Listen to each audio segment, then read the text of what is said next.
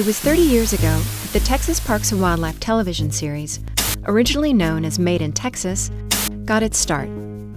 Mark Thurman is one of more than 30 producers, photographers, writers, and editors who have contributed to the show since its first broadcast in 1985. My name is Mark Thurman. I spent 21 years at Parks and Wildlife working with a TV show, and my favorite story is a series of outdoor infos that I did with David Alloway. But I would say we have this one. I don't know if we, we did several different subjects, knife sharpening, that sort of thing. And it just gave me a chance to spend some time out in the Big Bend country with a guy who knew most everything about that place. One of the most effective ways that you can attract attention in an emergency is through a signal mirror.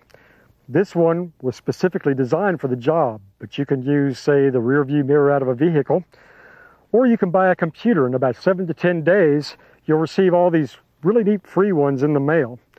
To utilize any of the mirrors, find the reflection spot on the ground and hold your hand out. Spread two of your fingers and moving the mirror and your hand together, use your fingers to frame your target. It's important to move the mirror up and down to create a flash. Otherwise, a pilot or other search and rescue personnel may mistake the reflection for a pool of water or the windshield of a vehicle. You hold the knife on the stone at the same angle as the bevel of the blade and using your free hand, draw it across the top of the stone as if you're trying to shave the top off. Repeat on the other side. You can do several strokes on one side as long as you repeat the process with the same number of strokes on the opposite side of the blade. One of the ways that you can monitor your water intake is by your urine output. You should be able to urinate twice a day. Also remember, it's the water in your belly that does you good, not the water in your canteen. They found people dead of dehydration with a quarter of a canteen of water still on them. So if you're thirsty, take a good drink. This little vial of potassium permanganate will purify 300 gallons of water. It's also useful in fire starting, and some medical preparations. And there's also a small folding knife in here for more delicate cutting chores. I know these work because I carried a kit just like this in Western Australia, covered 120 miles living off the land and out of this box.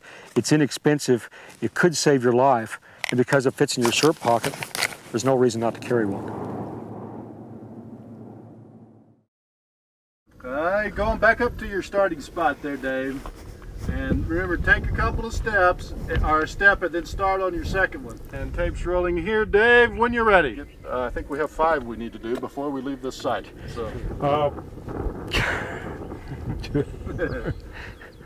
I go from here. And you're watching time, Don? Uh, I, I will be. Yeah, that was close. I mean, yeah, yeah it's I close, think, but it's still, yeah. yeah, it's choppy, but I'm, I'm kind of getting the drift here. I prefer long sleeves and long pants, a breathable, Ebri. That's all, folks. I'm still rolling. When you're ready, Dave.